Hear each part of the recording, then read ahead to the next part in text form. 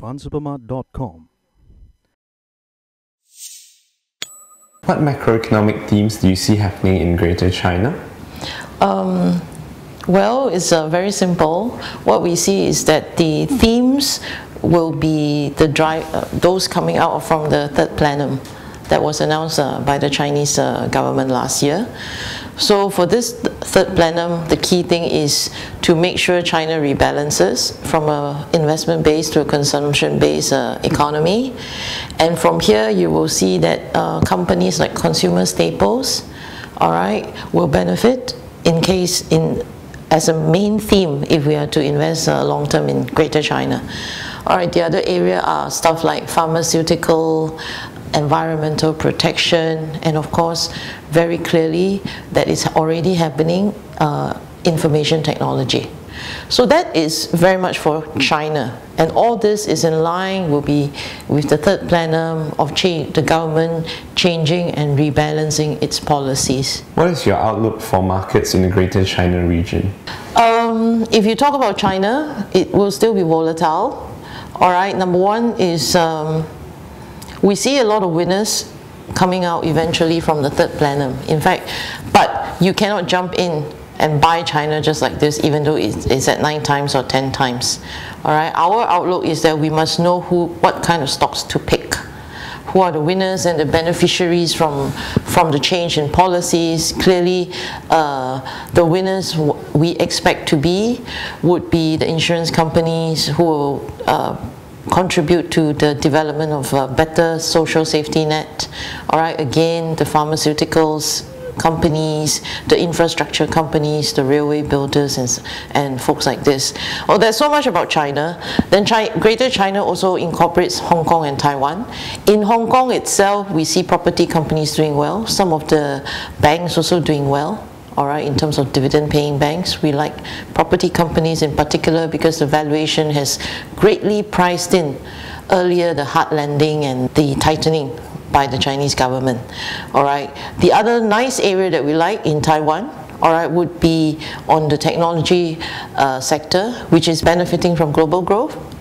And obviously, one area that we like in particular are suppliers to the Apple supply chain all right, the chip makers, the uh, iPhone casing makers, and these are one of the areas that we will be investing in because the valuation of technology companies are still very, very cheap.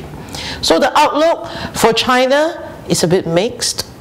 All right, a bit mixed. We have to be careful what kind of stocks we pick. For Hong Kong, our property companies, some parts of the banks, and for Taiwan, it's really the IT sector. But nevertheless, as an allocation approach, we still have about 60 over percent of our Greater China money focused in China. What will be the drivers and detractors to performance over the coming years? Um, the drivers would be what I've mentioned earlier. Those stocks like insurance firms, uh, IT companies, consumer staples, pharmaceutical companies, railway companies, those will benefit. Those will be the winners for the future. All right, the detractors, who will they be? Likelihood would be badly run companies, especially the state-owned companies, the state-owned companies that will be uh, restructured in view with the changes in the policies for the betterment of the uh, uh, Chinese stock market and Chinese economy. So in terms of overall outlook, you will and could be uh, hearing more bad news coming out from the China market. All right, so the drivers would be the new China stocks. The detractors will be the old China stocks. These are your energy, your materials, the badly run companies, those that have no corporate governance. All right, those would be the main detractors. What should investors who have already invested in Greater China do at this point? Uh, well, if you're already invested and you have uh, profited, say because if you look at the Greater China market over the last one year, it has delivered about 12%. Not, not too bad, not as great as the developed market, but not too bad, seeing that China has not been performing for a few years now.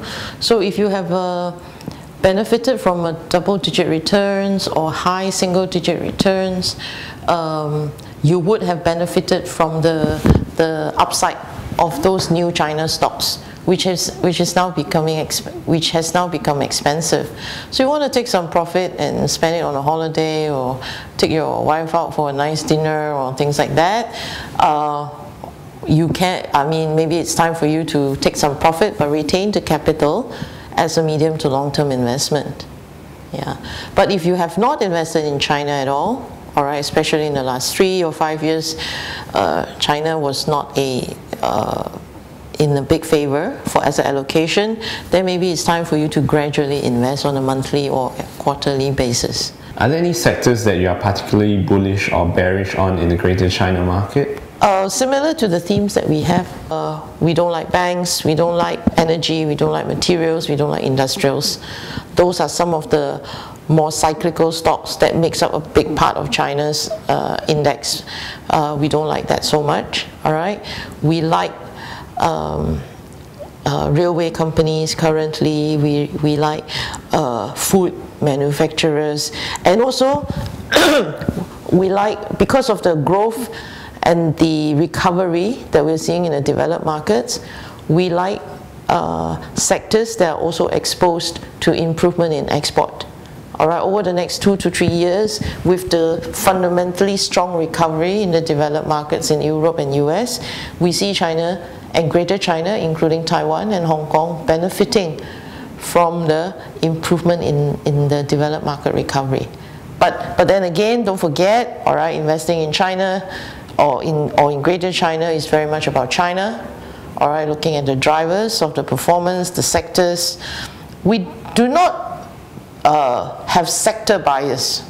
All right, what we do is we look at the policy and the changes. Say, for example, we know that the main theme is that China will rebalance from a consumption, uh, from an investments uh, driven economy to a consumption economy. So we pick stocks from a bottom-up approach. All right, if we do so, then we pick the right winners. All right, if you look from a bot, uh, bottom uh, top-down approach, likelihood you'll be picking up the wrong stocks because the Chinese index is made up of big banks that are state-owned and badly run without good corporate governance or energy companies that are not making money or not profitable and too cyclical. So it has to be from a bottom-up approach, all right, and being driven by the positive policy changes.